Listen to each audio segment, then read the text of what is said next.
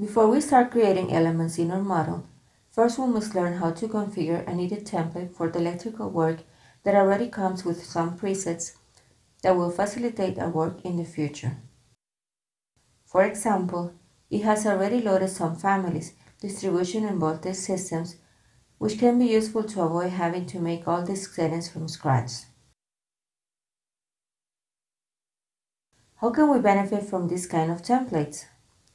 Every time we create a new model in Revit, this window is displayed. Here we are able to choose which is the base template file. By default, construction template is selected. There are others, such as architectural, structural, and mechanical installations. Sadly, there is not an electricity template generated in our project. What we must do is find an electricity template these templates are already downloaded if we had internet connection while we were installing the program. Go to Browse to explore where these templates are. Just to give you an idea, note that there is Window, Program Data, Autodesk Revit 2020, and the Templates folders. Inside this folder, you will be able to see generic templates, templates with imperial units, and templates with metric units. We're interested in the metric unit template. You may have other options depending on what you choose to download during installation. I will use the US metric templates which are quite common.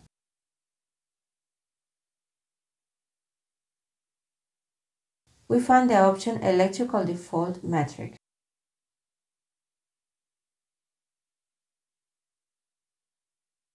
We choose this option and click Open. Notice that now this option is loaded. Even though I created this file, we'll notice we'll have to make one setting step more so that it is always available.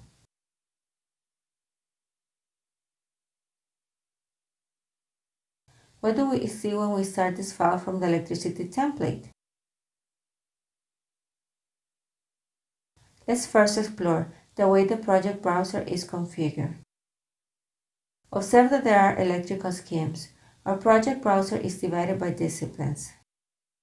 So we have an electrical discipline and within it, there are two main subdivisions, lighting and power. For lighting, we have floor plans, ceiling plans, and for power, we also have elevations, things that we need. Besides that, within families, there are some specific preloaded for electricity. I will show you for a moment that if we go to Systems, Electrical, by clicking in Electrical Configurations option or by pressing the ES keys, we can see that there are some preloaded things in electrical configuration. You can see that there are circuit description, angles, and voltage definitions and distribution systems. Such types of configurations are not available in an architecture or construction template. They are available here thanks to this electrical template that has some things that could be used in electrical design. I will cancel, close this file that is blank and observe that if I try to create a new file, the electrical template doesn't appear, the one that I just loaded, because when I use the browser, it allowed me to load it just for that moment.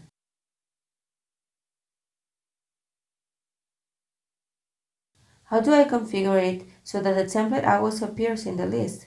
So that if we need to create an electrical project, we don't have to look back to the folder where the template is.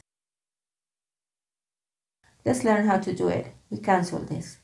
We must use the Home button, press it to see the ribbon. On the File tab, we configure the Revit options.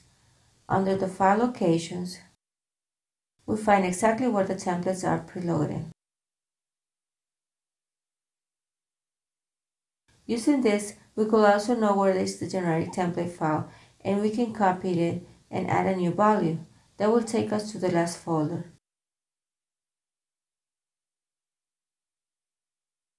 Note that if you use that copy location, you can go up to the generic folder, up to the one and you up one and you find that US metric and um, there is the electrical default metric. We press open and watch that it now it is loaded. We could change its name, such as electrical template, to continue with the same nomenclature above and press OK.